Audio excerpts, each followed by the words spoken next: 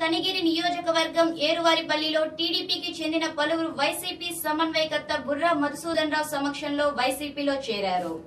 అంకమ్మ దేవాలయం వద్ద వైసీపీ కార్యకర్తల సమావేశం నిర్వహించారు. రానున్న ఎన్నికల్లో వైసీపీ గెలుపుకు కృషి చేయాలని కోరారు.